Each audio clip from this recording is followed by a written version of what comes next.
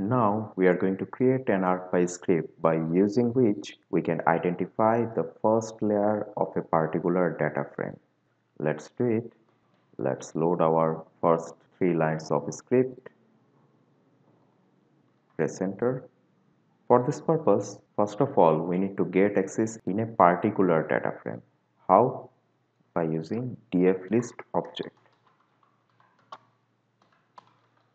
Then use arcpy library dot mapping dot list data frame function in here our argument will be map document which is mxd then we need to use the data frame name in where we are going to search our first layer of that particular data frame.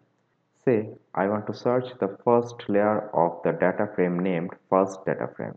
I'm going to search the first layer of this data frame which is first data frame. In this case we need to provide the name of this data frame which is first data frame. We can copy this one from here. Now paste this. Now we need to provide an index number which will be obviously 0 this index number are using for this list data frame function this is not going to be used for data frame index number, either for map document index number. This index number is being used in the whole list data frame function.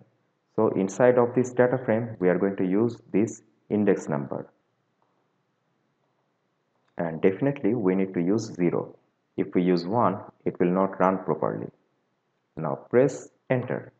This is the technique to use 0 for this function now we are going to getting access in a particular layer. How? By creating layer list object.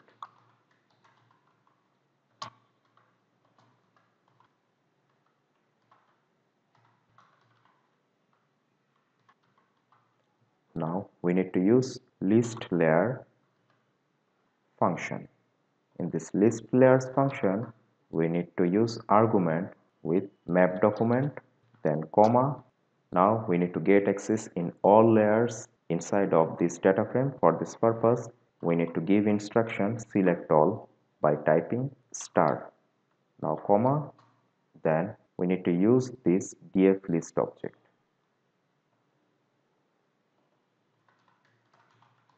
Now we need to use an index number for this list layers function, not for this df list.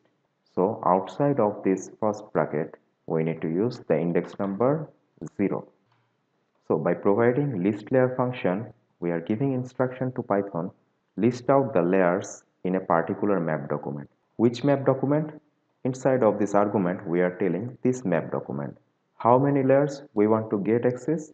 By providing star we are telling select all layers in this data frame. Which data frame? By providing this df list we are telling python this data frame because in our previous line we already have said df list means these objects and inside of this object index number is 0 and now we are telling which layer we want to get access. By using index number 0 we are telling the first layer of that data frame. So the explanation of this two line of script is by giving df list we are creating an object then telling get access in a particular data frame by using list data frame function which data frame? This first data frame name. Then the index number will be 0 this index number is for list data frame function not for this data frame. This index number is for the whole function of list data frame.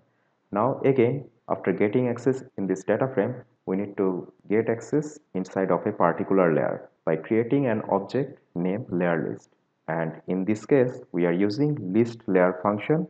Inside of this function we are telling get access in a particular layer list inside of this data frame which is exist inside of this map document and get access in all layer by using this star. After that by giving index number 0 we are telling now get access into the first layer. Now press enter.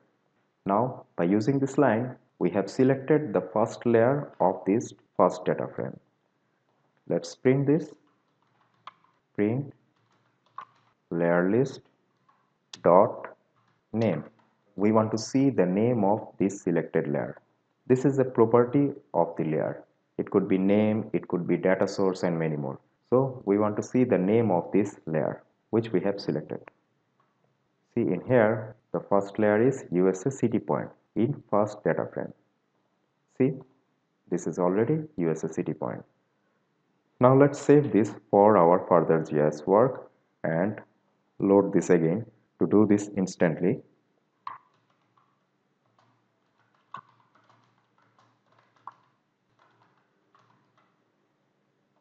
Let's clear this. Now do the same instantly within a second by loading the script just press enter and see. Now if we want to see the second layer of this data frame all we need to do is just change the index number of this list layer function. If we want to see the second layer which is South Dakota we can use 1 if we press enter see it is showing South Dakota now what we need to do if we want to search the first layer of this second data frame? It is very easy. Just load the script. In here we need to give the name of this second data frame. Now press enter. See the magic. It is showing the first layer of this second data frame. Now let's play with this in your interface